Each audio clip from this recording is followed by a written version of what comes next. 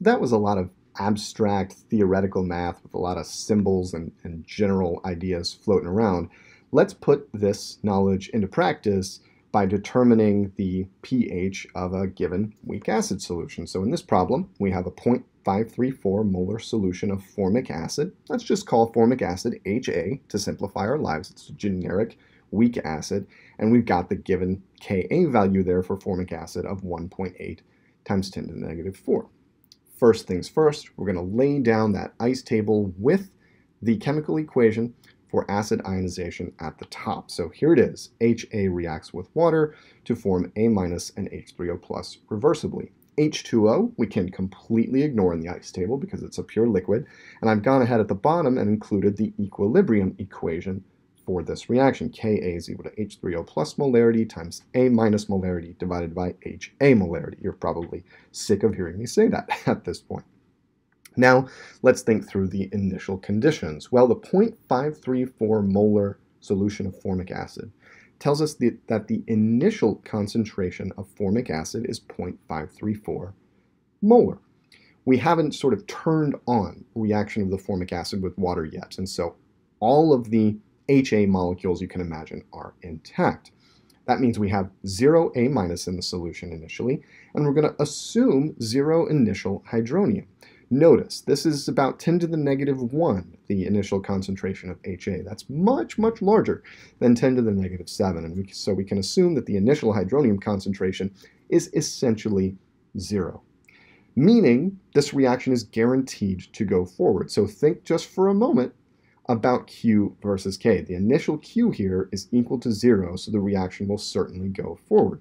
This allows us to write the change line of the ice table with a minus x on the reactant side and plus x's on the product side. And then for the equilibrium line, we simply put the initial and change together like so.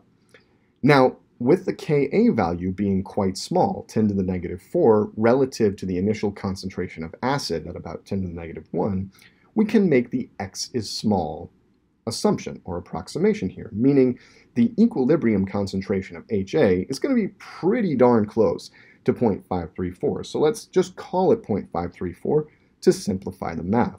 So now we have expressions for each of the molarities at equilibrium, and we can plug those into the equilibrium equation to arrive at x squared divided by 0.534 is equal to Ka, that given Ka value of 1.8 times 10 to the negative 4.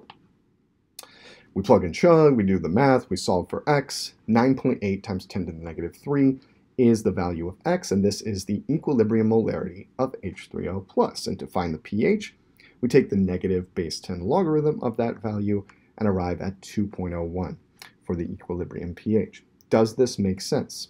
Well, yes, it does, right? Formic acid is a weak acid. We can tell that by its pKa. So the pH should be less than 7, but should not correspond to the negative base 10 logarithm, for example, 0.534, which is going to be a less positive number than 2.01.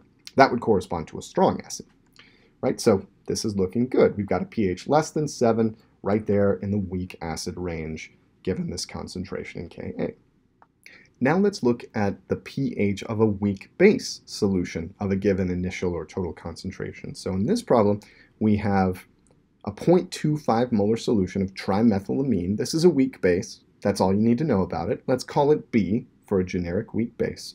And we're given the Kb value at 6.3 times 10 to the negative 5. So we want to know the concentration of hydroxide at equilibrium, the pOH at equilibrium, and the pH. And this will be a nice kind of stepwise route from the end of the ice table calculation through to the pH. So to begin, we write that chemical equation for base ionization. There it is, reaction of the base with water. And we can go ahead and fill in our initial conditions. 0.25 moles per liter of trimethylamine, the, the base, and zero of the conjugate acid, and zero hydroxide. Zero initial hydroxide because 0.25 is much, much larger than 10 to the negative 7. Thinking about Q versus K, the reaction will run forward, so we'll lose reactant and gain products, minus x, plus x, and plus x, and we generate the equilibrium line by adding the initial and change lines together. Voila, there we go. Now, before we plug into the equilibrium equation at the bottom here, we can note that 0.25 minus x is likely to be very, very close to 0.25, and so we can assume that the two are equal. This allows us to plug in 0.25 in the denominator of the right-hand side of the equilibrium equation. So we arrive at kb is equal to x squared divided by 0.25, and we can plug and chug and solve for x. We arrive at x is 4.0 times 10 to the negative 3 moles per liter. Now let's pause for a second and note that in this weak base situation, because the base generates hydroxide, the x value is the molarity of hydroxide at equilibrium. And so we can find the pOH of this solution by taking the negative base 10 logarithm of that concentration, and this comes out to 2.4. This is not the pH, and in fact, if this were the pH, that would be problematic because that would imply a pH less than 7 in a basic solution. Doesn't make sense conceptually, right? To find the pH, we apply the idea that pH plus pOH is equal to 14, and so the pH is 14 minus the pOH, 14 minus 2.4, which comes out to 11.6, and indeed, this pH makes sense for basic solution being greater than 7, but not so great that the acid that the base is strong. This corresponds to a weak base pH given that concentration of 0.25 moles per liter.